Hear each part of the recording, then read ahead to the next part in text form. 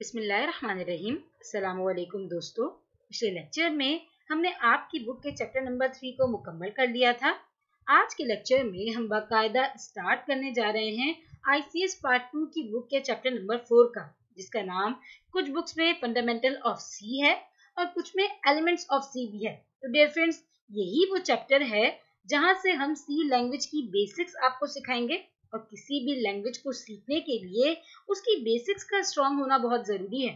क्योंकि जितनी ज़्यादा आपकी उस लैंग्वेज से, उस लैंग्वेज की बेसिक्स स्ट्रॉन्ग होंगी, उतनी आसानी से आप उस लैंग्वेज को अडॉप्ट कर सकते हैं, सीख सकते हैं उसमें कॉम्प्लेक्स प्रोग्राम डेवलप कर सकते हैं। तो डियर फ्रेंड्स जिस तरह उर्दू एक लैंग्वेज है इंग्लिश एक लैंग्वेज है, और अगर आप इनमें से किसी भी लैंग्वेज को सीखना चाहते हैं तो जो सबसे पहली चीज़ आपको यहाँ सिखाई जाती है, वो है अल्फाबेट्स यानी लफ्ज यानी इस लफ्ज जो है, वो इस लैंग्वेज में कौन कौन से इस्तेमाल होते हैं? फिर नेक्स्ट स्टेप में उन लफ्जों को जोड़कर अल्फाज बनाना सिखाया जाता है और आखिर में आपको जुमले और फिर पूरे पूरे मजमून लिखना आपको सिखाया जाता है। बिल्कुल ऐसे ही सी लैंग्वेज को सीखने के लिए भी आपको ये पता होना चाहिए कि इस लैंग्वेज में लफ्ज यानी अल्फाबेट्स कौन से इस्तेमाल होते हैं? तो डियर फ्रेंड्स इसका जवाब ये है कि जितने भी अल्फाबेट्स ए से लेकर जेड तक वन से लेकर नाइन तक डिजिट्स और कुछ स्पेशल सिंबल्स जो कि आपको कीबोर्ड पर नज़र आ रहे हैं, ये तमाम के तमाम सी लैंग्वेज में इस्तेमाल होने वाले लफ्ज हैं। यहाँ लफ्ज का तो आपको पता चल गया। अब बारी आती है अल्फाजों की। तो दोस्तों सी लैंग्वेज भी उर्दू और इंग्लिश जैसी ही है। यहाँ भी आप इन तमाम लफ्जों को मिलाकर कोई भी नाम बना सकते हैं, लेकिन सी लैंग्वेज में वो नाम, वो अल्फाज कहलाता है आइडेंटिफायर दोस्तों, इसको बिल्कुल आप इस तरह समझ लें कि जिस तरह रोज़मर्रा की ज़िंदगी में हम कोई नई चीज़ बनाते हैं तो उसको अपने पास से कोई भी नाम दे देते हैं। जैसे मान लें, आपने सी लैंग्वेज पर एक बुक लिखी है और उस बुक को क्योंकि आपने लिखा है आपने बनाया है तो यहाँ आपने उस बुक को नाम दे दिया बेसिक्स ऑफ़ सी बुक का। बिल्कुल ऐसे ही आपने कोई न्यू डिश बनाई है तो उस डिश को क्योंकि आपने खुद बनाया है तो आप उसको अपनी मर्ज़ी से कोई भी नाम दे देंगे। यानी जिस तरह रोज़मर्रा की ज़िंदगी में हम हर एक चीज़ को कोई ना कोई नाम ज़रूर देते हैं, उस चीज़ की मुनासबत से। ऐसे ही एक प्रोग्राम भी मुख्तलिफ़ एंटिटीज पर मुश्तमिल होता है मुख्तलिफ़ एंटिटीज से मिलकर बनता है। तो उन एंटिटीज को रिप्रेजेंट किया जाता है किसी न किसी नाम से। और वो नाम प्रोग्रामिंग की लैंग्वेज में कहलाता है आइडेंटिफायर दोस्तों, ये इसकी डेफिनेशन देखिए। The name you provide to an entity in a program so that it can be uniquely identifies is called identifier यानी एक प्रोग्राम में जित, जितनी भी एंटिटीज हैं उन एंटिटीज को यूनिकली आइडेंटिफाई करने के लिए जो नाम उन एंटिटीज को दिया जाएगा वो कहलाएगा आइडेंटिफायर दोस्तों यहाँ यहाँ हर एक एंटिटी को नाम क्यों दिया जा रहा है? ताकि वो एंटिटी यूनिकली आइडेंटिफाई हो जाए। तो यहाँ यूनिकली आइडेंटिफाई से क्या मुराद है? तो दोस्तों इसको आप इस तरह से समझ लें कि आप लोग पाँच बहन भाई हैं और हर एक सिबलिंग को आपके पेरेंट्स एक अलग नाम देते हैं। एक हर, हर एक सिबलिंग का एक अलग नाम रखते हैं, एक यूनिक नाम रखते हैं। क्यों? ताकि आपके पेरेंट्स आप लोगों को यूनिकली आइडेंटिफाई कर सके। जब कभी भी वो आप में से किसी एक को पुकारें तो वही आए ना कि कोई और। बिल्कुल ऐसे ही सी लैंग्वेज में भी हम अपने प्रोग्राम में जो भी एंटिटी यूज़ करते हैं, उसको एक यूनिक नाम दे देते हैं और वो यूनिक नाम कहलाता है आइडेंटिफायर क्योंकि यही वो नाम है जो कि उस एंटिटी को रिप्रेजेंट कर रहा होता है और फिर जब भी प्रोग्राम में आप उस एंटिटी को कॉल करवाएँगे या ये कह ले कि यूज़ करेंगे तो उसी नाम से करेंगे और डेयर फ्रेंड्स इसकी एक और डेफिनेशन देखिए identifiers are the names used to represent variables, constants, data types, functions and labels in the program. यानी ये जो अभी हम बात कर रहे थे कि एक प्रोग्राम में हम जो भी एंटिटी यूज़ करते हैं उनको रिप्रेजेंट करने के लिए आप उनको नाम दे देते हैं, जो कि आइडेंटिफायर कहलाता है। तो यहाँ वो एंटिटीज क्या है? दोस्तों, वो एंटिटीज कोई वेरिएबल हो सकता है, वो कोई फ़ंक्शन हो सकता है, कोई डाटा टाइप हो सकती है, या कोई कांस्टेंट या फिर लेबल हो सकता है। तो डेयर फ्रेंड्स ये तमाम चीज़ें क्या हैं? यानी फ़ंक्शन वेरिएबल कांस्टेंट क्या हैं? इनको हम डिटेल में आगे डिस्कस करेंगे। अभी आप ये समझ लें कि इन तमाम चीज़ों को जब कभी भी आप अपने प्रोग्राम में यूज़ करेंगे तो हमेशा इन्हें आपको खुद से कोई नाम देना होगा, जो कि यूनिक होना चाहिए, अलग होना चाहिए। और उसी नाम से ये आपके प्रोग्राम में रिप्रेजेंट होंगी। और याद रखिए, जो भी नेम आप किसी भी एंटिटी को देंगे वो नेम आपके प्रोग्राम की मुनासबत से होना चाहिए, ताकि आपको उसको याद रखने में आसानी हो। जैसे मान लें, आप किसी की एज कैलकुलेट कर रहे हैं तो आपने उसको इस तरह से डिफाइन कर दिया int age equals to twenty तो यहाँ क्योंकि हम एज का प्रोग्राम बनाने जा रहे थे तो हमने एक वेरिएबल लिया और उसको नाम दे दिया एज का विच मीन्स कि ये जो एज है, ये कहलाएगा आइडेंटिफायर और क्योंकि हम यहाँ पर एज का प्रोग्राम बनाने जा रहे थे तो हमने अपने आइडेंटिफायर का नाम भी एज रखा है। क्योंकि दोस्तों यहाँ हमने एक वेरिएबल को रिप्रेजेंट किया है एक यूनिक नेम से जो कि आप पूरे प्रोग्राम में उसकी आइडेंटिटी बनेगा। अब इस प्रोग्राम में आगे आप जहाँ कहीं भी यूज़ करेंगे तो आप इस ए, इस नंबर को इसी आइडेंटिफायर से इस्तेमाल करेंगे। इसी आइडेंटिफायर से रिप्रेजेंट करेंगे। यानी आपको हर जगह ट्वेंटी लिखने की ज़रूरत नहीं है, बल्कि आप जहाँ कहीं भी एज लिखेंगे तो ऑटोमेटिकली वहाँ पर ट्वेंटी आ जाएगा। और डियर फ्रेंड्स ये आपको स्क्रीन पर एक प्रोग्राम नज़र आ रहा है, जिसमें हमने दो लोगों की एवरेज एज निकाली है। एक को हमने आइडेंटिफायर नेम दे दिया एज वन का, और दूसरे को हमने नाम दे दिया है एज टू का। अब हम जब कभी भी इन्हें प्रोग्राम में यूज़ करेंगे तो इन्हीं नामों से करेंगे। यानी अब यही नाम से इसको पूरे प्रोग्राम में रिप्रेजेंट करवाया जाएगा आइडेंटिफाई किया जाएगा, जाना जाएगा। और इसका फ़ायदा क्या हुआ? यूज़र को हर बार उनकी एज का नंबर याद रखने की ज़रूरत नहीं है, बल्कि सिर्फ़ यूज़र को यूज़र उनका आइडेंटिफायर लिखेगा और वहाँ ऑटोमेटिकली उनकी एज आ जाएगी। दोस्तों ये तो हमने जान लिया कि आइडेंटिफायर क्या होते हैं, क्यों यूज़ किए जाते हैं और इनका काम क्या होता है। अब आइए देखते हैं कि इनको आप अपने प्रोग्राम में किस तरह से डिफाइन कर सकते हैं। दोस्तों, जिस तरह हर एक लैंग्वेज में नाम रखने के कुछ रूल्स होते हैं, बिल्कुल ऐसे ही सी लैंग्वेज में भी आइडेंटिफायर्स को लिखने के कुछ रूल्स हैं। और उन रूल्स को फॉलो करना हर एक सी के प्रोग्रामर के लिए ज़रूरी है, क्योंकि अगर आप रूल्स को फॉलो नहीं करते तो फिर कंपाइलर एरर जनरेट करेगा। तो दोस्तों, इसमें जो पहला रूल है, वो ये देखिए। An identifier name should consist of alphabets digits and underscore यहाँ, यानी यहाँ जो भी आप आइडेंटिफायर डिफाइन करेंगे, वो ए से लेकर जेड तक के अल्फाबेट्स पर मुश्तमिल होना चाहिए। ज़ीरो से लेकर नाइन तक के डिजिट्स पर और अंडरस्कोर पर। इसके अलावा आप कोई स्पेशल सिंबल अपने आइडेंटिफायर में इस्तेमाल नहीं कर सकते। जैसे कि आप स्पेस इस्तेमाल नहीं कर सकते हैं, आप एट दी रेट इस्तेमाल नहीं कर सकते। उसका दूसरा रूल देखिए। An identifier name should only start with alphabets और अंडरस्कोर नॉट विद डिजिट और स्पेशल सिंबल्स यानी कोई भी आइडेंटिफायर या तो ए से लेकर जेड तक के किसी भी अल्फ़ाबेट से शुरू हो सकता है या फिर अंडरस्कोर से। इसके अलावा किसी डिजिट या स्पेशल सिंबल से आप अपने आइडेंटिफायर को नहीं शुरू कर सकते। हैं इसकी आगे हम प्रोग्राम में डिटेल भी देखेंगे। अभी हम सिर्फ़ आपको इसकी थ्योरी बता रहे हैं। इसका नेक्स्ट पॉइंट देखिए। An identifier can not contain any blank spaces जैसे जैसे कि अभी मैंने आपको बताया कि ना ही आइडेंटिफायर में कोई स्पेशल सिंबल होना चाहिए और ना ही कोई ब्लैंक स्पेस यानी खाली जगह। जैसे ये आपके सामने एक एग्ज़ाम्पल भी आपको नज़र आ रही है, जिसमें ये आइडेंटिफायर नेम है और इसके अंदर इस एक आइडेंटिफायर नेम के दरमियान एक ब्लैंक स्पेस है। तो ऐसा नहीं होना चाहिए। ऐसा इसीलिए नहीं होना चाहिए क्योंकि फिर अगर आपके प्रोग्राम में ब्लैंक स्पेस होगी तो आपका कंपाइलर एरर जनरेट करेगा।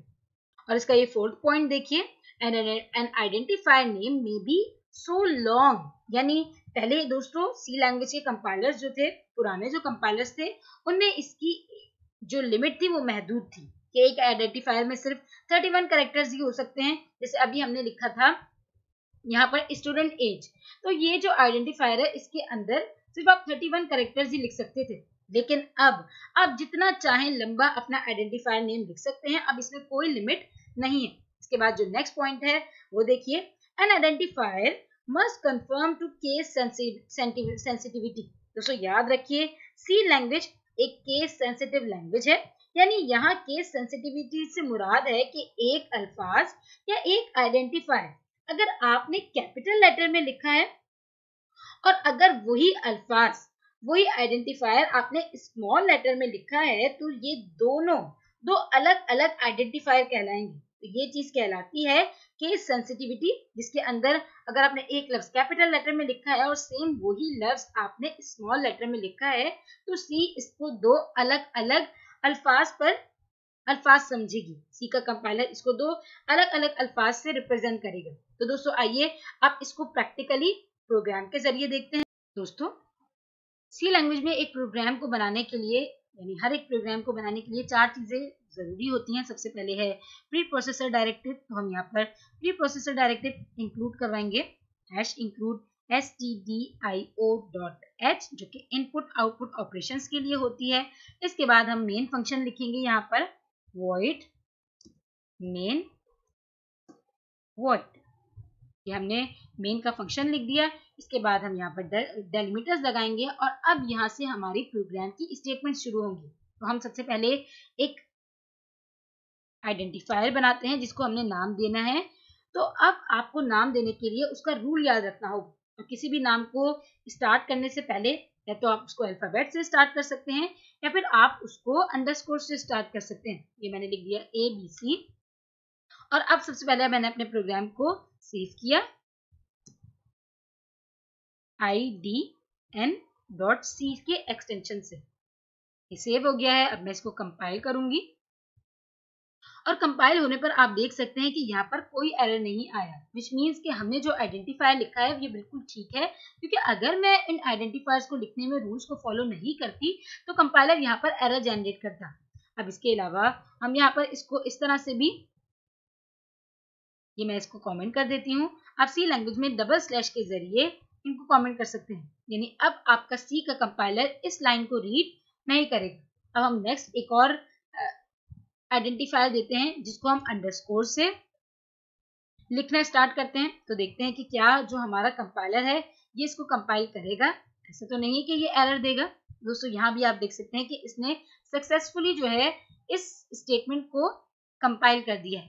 अब दोस्तों, हम अपने इस आइडेंटिफायर को डिजिट से स्टार्ट करते हैं तो देखते हैं कि क्या हमारा कंपाइलर एरर जनरेट करता है। हम यहाँ पर इस लाइन को कमेंट कर देते हैं और यहाँ पर हम एक लाइन लिखते हैं इन और आइडेंटिफायर का नाम देते हैं one two three A B C और आखिर में लगा देते हैं टर्मिनेटर दोस्तों, याद रखिए टर्मिनेटर जो है, क्योंकि एक प्रोग्राम में मल्टीपल स्टेटमेंट्स होती हैं, यहाँ भी आप देख सकते हैं तो ये टर्मिनेटर एक स्टेटमेंट को दूसरी स्टेटमेंट से अलग रखने के लिए होता है। जैसे उर्दू लैंग्वेज में आप फुल स्टॉप लगाते हैं इंग्लिश लैंग्वेज में आप फुल स्टॉप लगाते हैं, एक लाइन को, एक सेंटेंस को दूसरे सेंटेंस से सेपरेट करने के लिए, और यहाँ पर हम सेमी कॉलन लगाते हैं। ये मैंने सेमी कॉलन लगा दिया, अब हम इसको कंपाइल करते हैं। और अब आप देख सकते हैं कि आपके प्रोग्राम ने एरर जनरेट किया है। तो ये एरर क्यों जनरेट किया है? क्योंकि आपने यहाँ पर इस आइडेंटिफायर की शुरुआत जो है वो एक डिजिट से की है। अब अगर मैं यहाँ पर इसको रिमूव कर देती हूँ और सिंपली एबीसी लिखती हूँ तो आपका कंपाइलर इसकी तरह, यानी यहाँ पर जो हमने फ़र्स्ट स्टेटमेंट लिखी थी, ये सेम वही है। तो ये आपकी इजीली इसको कंपाइल कर देगा। इसके अलावा जो नेक्स्ट रूल है, वो ये है कि आप अपने आइडेंटिफायर में किसी किस्म की किसी स्पेस को यूज़ नहीं कर सकते। तो देखते हैं कि क्या यहाँ पर ये हमें एरर जनरेट करता है। मैंने लिखा int A B C space E F G और यहाँ पर मैं इसको कंपाइल करूँगी। और कंपाइल करने पर आप देखें कि इसने फिर दोबारा से एक एरर जनरेट किया है। क्योंकि मैंने यहाँ पर एक स्पेस दे दी थी तो आप कंपाइल आप आइडेंटिफायर्स के दरमियान किसी किस्म का कोई स्पेशल सिंबल यूज़ नहीं कर सकते, आप अंडरस्कोर यूज़ कर सकते हैं, लेकिन इसके अलावा आप कोई स्पेशल सिंबल यहाँ तक कि आप स्पेस भी यूज़ नहीं कर सकते। अब अगर आप इसको, इस एरर को आपको रिमूव करना है तो यहाँ से आपको स्पेस को भी रिमूव करना होगा। इसके अलावा एक और हम आइडेंटिफायर बनाते हैं, जिसके अंदर हम एम प्रेजेंट का साइन यूज़ करते हैं। एम प्रेजेंट भी एक स्पेशल सिंबल है तो मैंने लिखा ए बी सी सॉरी मैंने लिखा ए बी सी और आखिर में लिख दिया एम प्रेजेंट तो देखते हैं कि क्या हमारा कंपाइलर एरर जनरेट करता है। इसको भी कमेंट कर देते हैं इस तरह से डबल स्लैश के ज़रिए। अब आपका कंपाइलर सिर्फ़ इस लाइन को रीड करेगा। तो मैंने यहाँ पर एग्जीक्यूट पे जाकर कंपाइल पर क्लिक किया। तो आप देख सकते हैं कि कंपाइलर ने एरर जनरेट किया है और इसी जगह पर किया है। क्यों? क्योंकि दोस्तों ये एक स्पेशल सिंबल है और आप अपने आइडेंटिफायर में सिर्फ़ और सिर्फ़ अल्फाबेट्स को यूज़ कर सकते हैं अंडरस्कोर को यूज़ कर सकते हैं और डिजिट्स को यूज़ कर सकते हैं। इसके अलावा दोस्तों, आपका जो आइडेंटिफायर है, वो आप जितना चाहे वो लॉन्ग लिख सकते हैं। तो अगर मैं यहाँ पर अपना आइडेंटिफायर लिखती हूँ इंट ए बी सी और डी ई एफ़ मतलब जितना चाहूँ, और आप देख सकते हैं कि थर्टी वन से भी ज़्यादा है यहाँ पर आपको अल्फाबेट्स नज़र आ रहे हैं। यानी ये काफ़ी ज़्यादा लॉन्ग है। तो आइए देखते हैं कि क्या आपका कंपाइलर एरर जनरेट करता है। ये मैंने एग्जीक्यूट पर कंपाइल कर दिया। और आप देख सकते हैं कि आपके कंपाइलर ने किसी किस्म का एरर जनरेट नहीं किया है। लेकिन अगर ये जो आपका सॉफ्टवेयर है, ये कोई पुराना सॉफ्टवेयर होता, जिसका कंपाइलर भी पुराना होता तो यकीनन ये 31 कैरेक्टर्स के बाद आपकी वैल्यूज़ को शो नहीं करता। इसके अलावा दोस्तों, आइए देखते हैं कि यहाँ पर काउंट या सॉरी यहाँ पर केस सेंसिटिविटी क्या चीज़ है? दोस्तों, यहाँ पर मैंने इंट लिखा और इंट के बाद मैंने लिख दिया है काउंट जो कि कैपिटल लेटर में है। इसके अलावा मैंने एक और यहाँ पर आइडेंटिफायर डिफाइन किया है, जिसको मैंने स्मॉल लेटर्स के अंदर लिखा है। अब दोस्तों, अब आप देखिएगा कि आपका कंपाइलर एरर जनरेट नहीं करेगा, क्योंकि यहाँ पर आपका कंपाइलर इन दोनों लफ्ज को, इन दोनों अल्फाजों को, दो अलग अलग अल्फाज, दो अलग अलग आइडेंटिफायर्स रिप्रेजेंट करेगा अलग अलग आइडेंटिफायर्स के तौर पर लेगा। यहाँ पर मैं एग्जीक्यूट पर क्लिक करूँगी कंपाइल पर जाऊँगी। और अब आप देख सकते हैं कि कोई एरर जनरेट नहीं हुआ है। लेकिन अगर मैं इसको दोबारा से कैपिटल लेटर में ही लिखती हूँ तो आइए देखते हैं कि क्या आपका कंपाइलर एरर जनरेट करता है। दोस्तों यहाँ पर देखिए, उसने एरर जनरेट किया है, क्योंकि आप एक ही, क्योंकि यहाँ पर ये दोनों कैपिटल लेटर में है, इनको ये एक ही अल्फाज कंसीडर करेगा तो यहाँ पर ये आपको बोलेगा कि ये रीडिक्लेरेशन है। यानी आपने एक दफ़ा ये काउंट का वेरिएबल काउंट का आइडेंटिफायर आपने डिफाइन कर दिया है अब आपको इसको दोबारा डिफाइन करने की ज़रूरत नहीं है। लेकिन आपने देखा था कि जब हमने स्मॉल लेटर्स में लिखा था तो उसे इस तरह का कोई एरर नहीं दिया था, क्योंकि ये वहाँ पर उस स्मॉल लेटर वाले को एक अलग आइडेंटिफायर कंसिडर कर रहा था। तो इस तरह से यहाँ पर आपको केस केस सेंसिटिविटी को जहन में रखते हुए इन चीज़ों का ख्याल रखना चाहिए कि आप अगर किसी चीज़ को कैपिटल लेटर में लिख रहे हैं तो हर जगह आपको उसको कैपिटल लेटर में ही पूरे प्रोग्राम में यूज़ करना होगा। तो डियर फ्रेंड्स ये थे कुछ आइडेंटिफायर्स कि आप किस तरह से आइडेंटिफायर्स को डिफाइन कर सकते हैं और अगर आप रूल्स को फॉलो नहीं करेंगे तो कंपाइलर किस तरह आपको एरर जनरेट तो डियर फ्रेंड्स अभी जो हमने तमाम वर्ड्स देखे, तमाम आइडेंटिफायर्स देखे, ये तमाम यूज़र डिफाइन वर्ड्स थे, जिन्हें आपने खुद से डिफाइन किया था, खुद से आपने उन्हें अपनी मर्ज़ी का कोई भी नाम दिया था। जैसे अभी हमने ए बी सी नाम दिया था डी ई एफ़ नाम दिया था तो ये हमारी अपनी मर्ज़ी का नाम था, जबकि सी लैंग्वेज में कुछ ऐसे भी अल्फाज होते हैं जो कि पहले से रिज़र्व होते हैं, पहले से डिफाइन होते हैं, जो कि सी के डेवलपर्स ने, जिन्होंने सी लैंग्वेज को ही डेवलप किया था सी लैंग्वेज को ही बनाया था, उन्होंने किसी खास काम को परफॉर्म करवाने के लिए उन अल्फाजों को डिफाइन किया हुआ है। और वो नाम कहलाते हैं, वो अल्फाज कहलाते हैं कीवर्ड्स और दोस्तों इसकी डेफिनेशन देखिए कीवर्ड्स और reserve words are the words which are predefined meaning in C language. यानी C language में कुछ words होते हैं, कुछ अल्फाज होते हैं जो कि पहले से डिफाइन होते हैं। यानी यहाँ पहले से डिफाइन से मुराद है कि जब कभी भी आप इन वर्ड्स को अपने प्रोग्राम में इस्तेमाल करेंगे तो कंपाइलर को पता होगा कि इन कीवर्ड्स के पीछे क्या चीज़ डिफाइन हुई है। इनको आमतौर पर रिज़र्व वर्ड्स भी कहा जाता है, क्योंकि इन वर्ड्स को आप अपने प्रोग्राम में एज एन आइडेंटिफायर इस्तेमाल नहीं कर सकते। और यहाँ स्क्रीन पर आपको 32 वर्ड्स नज़र आ रहे हैं। ये वो तमाम कीवर्ड्स हैं जो कि रिजर्व्ड हैं। इनको आप अपने प्रोग्राम में आइडेंटिफायर के तौर पर भी इस्तेमाल नहीं कर सकते। और इनमें से हर एक कीवर्ड किसी खास खास फंक्शनैलिटी को परफॉर्म कर रहा है। जैसे यहाँ पर ब्रेक का कीवर्ड किसी खास काम के लिए यूज़ हो रहा है इफ़ का कीवर्ड कंडीशनल स्टेटमेंट्स के लिए यूज़ हो रहा है फॉर का कीवर्ड लूपिंग के लिए यूज़ हो रहा है तो यहाँ पर हर एक कीवर्ड की जो है, पहले से कोई डेफिनेशन डिफाइन की हुई है। आपको सिर्फ़ यहाँ पर कीवर्ड यूज़ करना है और आपका जो सी का कंपाइलर है, वो ऑटोमेटिकली उसके पीछे जो कोड डिफाइन किया हुआ है, वो उसको कंपाइल कर लेगा। और डियर फ्रेंड्स आमतौर पर कीवर्ड्स और आइडेंटिफायर एक साथ यूज़ किए जाते हैं। जैसे अभी हम एक प्रोग्राम देखने वाले हैं तो उस प्रोग्राम के अंदर भी आप देखिएगा कि कीवर्ड और आइडेंटिफायर एक, एक साथ यूज़ किए। तो डियर फ्रेंड्स यहाँ पर इस प्रोग्राम में हम यहाँ पर एक आइडेंटिफायर डिफाइन करने जा रहे हैं। तो ये देखिए ये इन एक कीवर्ड है और ए बी सी एक आइडेंटिफायर है। आप यहाँ पर भी देख सकते हैं।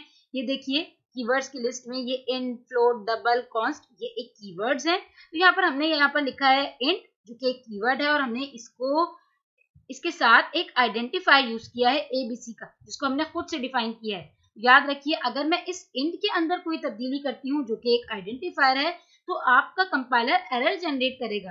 क्योंकि आप इसके अंदर किसी किस्म की कोई तब्दीली नहीं कर सकते। ये पहले से रिज़र्व वर्ड्स हैं, जिनमें आप किसी किस्म की कोई मॉडिफिकेशन और चेंजिंग नहीं कर सकते। जैसे मैं यहाँ पर आई एन टी के बजाय आई एन डबल टी लिख देती हूँ तो अब आप देखिएगा कि यहाँ पर कंपाइलर एरर जनरेट करेगा। ये देखिए, यहाँ पर इसने ये लाइन भी शो कर दी है, कि इस लाइन में एरर है। अब अगर मैं यहाँ पर इसको वापस से, जो कि कीवर्ड इसका रियल में रिज़र्व है, वो लिखती हूँ आई एन टी तो यहाँ पर अब ये मुझे किसी किस्म का कोई एरर जनरेट नहीं करेगा। ये देखिए, अब ये आपका प्रोग्राम एरर फ्री हो गया है। यहाँ पर एरर ज़ीरो लिखा आ गया है विच मीन्स कि जो जैसा कीवर्ड लिखा हुआ है कैपिटल लेटर में लिखा हुआ है तो आपको कैपिटल लेटर में लिखना है स्मॉल लेटर में लिखा हुआ है तो स्मॉल लेटर में लिखना है, और जो उसकी स्पेलिंग है, बिल्कुल उसी स्पेलिंग में लिखना है। तो यहाँ पर आप देख सकते हैं कि अक्सर आपके कीवर्ड्स और आइडेंटिफायर एक साथ लिखे जाते हैं।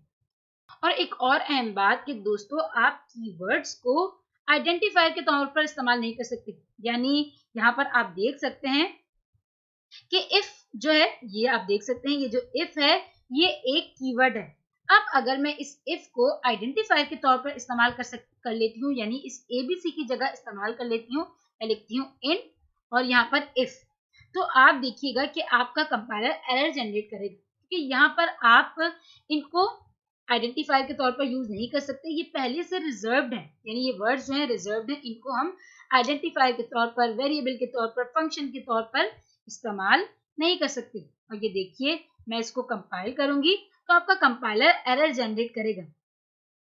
तो इसीलिए दोस्तों, याद रखिए, ये जो कीवर्ड्स हैं, ये पहले से रिजर्व्ड होते हैं। इनमें आप ना तो किसी किस्म की कोई चेंजिंग कर सकते हैं और ना ही इनको अपनी मर्ज़ी से कहीं भी यूज़ कर सकते हैं। यानी जहाँ पर इनका यूज़ हो रहा है, जहाँ पर इनका काम है, आप सिर्फ़ वही इनको इस्तेमाल कर सकते हैं। डियर फ्रेंड्स ये थे आइडेंटिफायर्स और कीवर्ड्स यहाँ पर हमारा लेक्चर मुकम्मल हुआ, जिसमें हमने जाना कि आइडेंटिफायर्स क्या होते हैं कीवर्ड्स क्या होते हैं, इनको आप अपने प्रोग्राम में किस तरह से डिफाइन कर सकते हैं। अगले लेक्चर में हम आगाज़ करेंगे सी के एक और एलिमेंट का विच इज़ अ वेरिएबल तो दोस्तों, ये भी बहुत ही ज़्यादा इंपॉर्टेंट लेक्चर है. तक के लिए अल्लाह हाफिज.